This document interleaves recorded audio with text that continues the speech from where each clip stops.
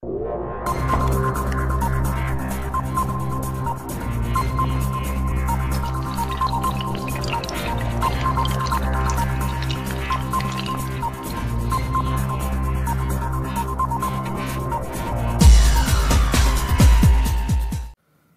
and this is Jim back with the Doro smartphone, and we're going to go through a quick setup. So up on top here, you'll select your languages, and we have English, English United Kingdom, United States, and so on, and wherever you happen to may be, you'll have your own language there. So we'll pick English Ireland. So we're going to skip the SIM card for now, and it'll start giving us information. Is this your first time using a smartphone? You have a choice. So you have, yes, I'm a beginner, or no, I have already used one. So from here, it's going to depend per person. So we'll take it from a beginner's point of view. So have you already tried to scroll up and down on the touch screen? Again, this option will vary, so we'll just go no with that just to see. Put your finger on the screen and slide up towards in order to see the content of a screen. So it'll just give you a little basic tutorial there. Swiping, it's also possible to browse content by swiping left or right. So pretty self-explanatory.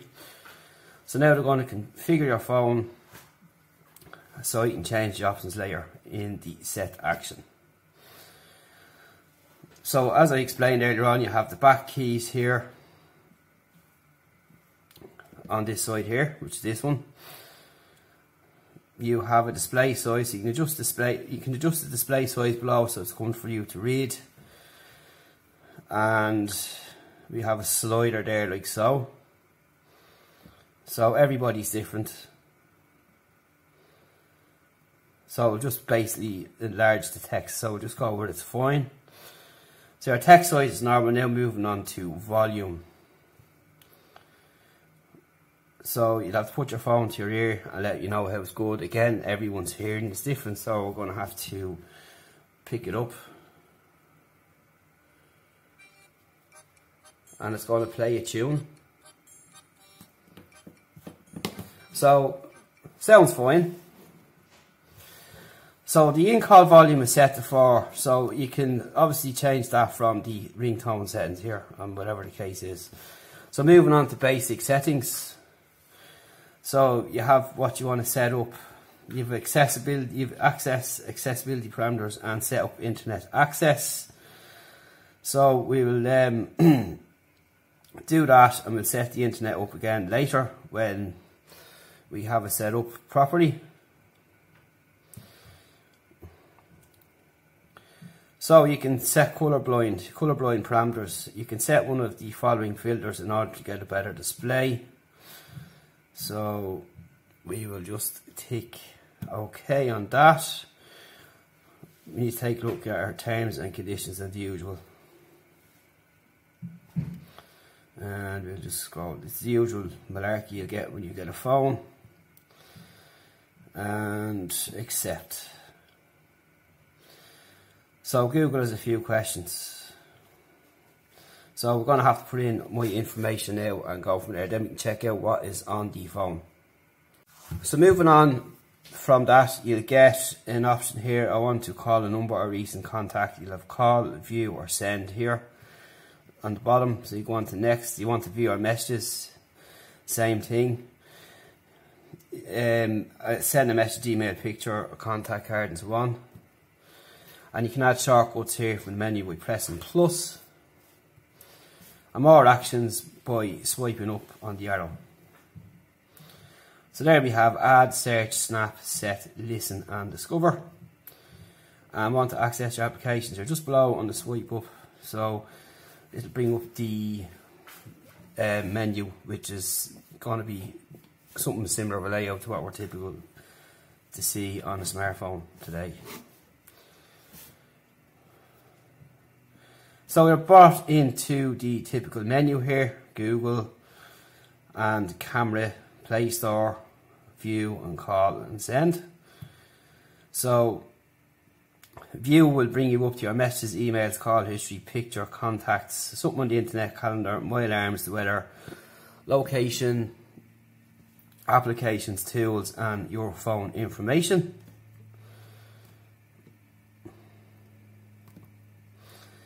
Camera will open up the camera obviously. So we'll just say yes. So in the camera we're just going to check how good it is. And we'll just pop something there for now. So we're gonna we have a flash and you have a selfie. So in the settings we'll check out what quality that we have. So we've picked our size. So you have 5 and 2 megapixels, 16.9 that's fine. Picture quality is low and high. Countdown timer 2 and 10 seconds. Face detection on or off. ISO you've auto from 100 up to 1600 and exposure minus 2 to plus 2 or you can store your location. So the camera is just pretty basic so if I pop something in there I'm just going to take a quick snap and see in a bit of light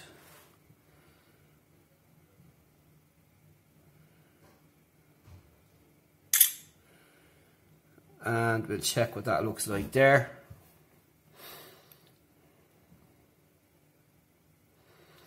And not bad, you know, it's for who the phone is intended for. It takes a decent picture and you can't really complain. So into the settings. so you have discover, listen, set, snap, add and search. And you've got voice assistant so you've got your home screen, your assistant, your Doro manager, display option and general options. So you've screen lock, the language, applications, haptic feedback, an update for the system, screen timeout, keyboard options, date and time and advanced settings. In there what we have is our typical Android settings now.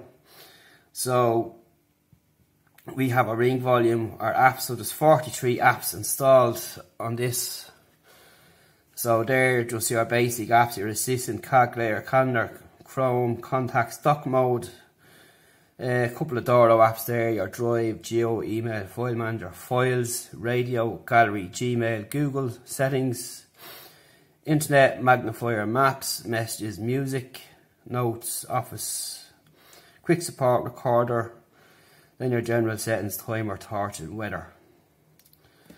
So we have 280 kilobytes used of internal storage and that's pretty much it there. And if we go into the main settings back here we can see what permissions we have in the app settings. And if we go back down here we go to sound we go up to 53 I think we were set at last. Let's see how loud it is. So we'll pick some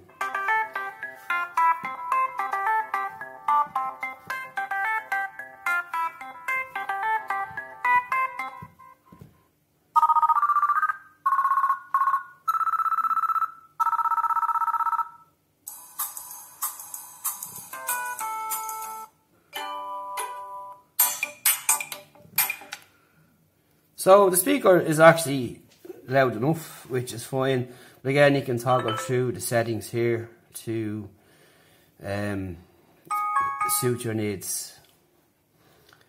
So we go back into about, let's see what um, last patch on this, uh, 7.1 February to 2018, so we're probably going to be due an update once we update the software and put the Wi-Fi on and so on. And that's what we're going to have to check, and that's when it was last updated, so we'll have to check that out. We have our typical drag down menu here. you have your mobile data, Bluetooth, torch, and airplane mode, which you can edit. excuse me. So you can pick these and drag them up or down, whichever suits you best or whatever that you're going to need. And that's pretty straightforward there. So that's really just a quick, brief setup of the Doro. So stay tuned for more.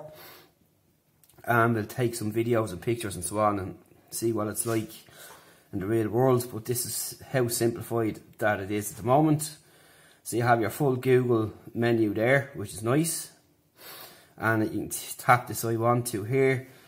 Add an application shortcut rename or delete.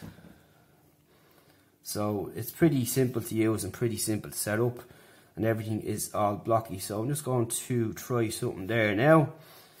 And no go back just too fast with my fingers. And no it doesn't work so what we'll do is we'll test it some more and we'll get back to you and see what we think of it. And if you have any questions feel free to ask. Stay tuned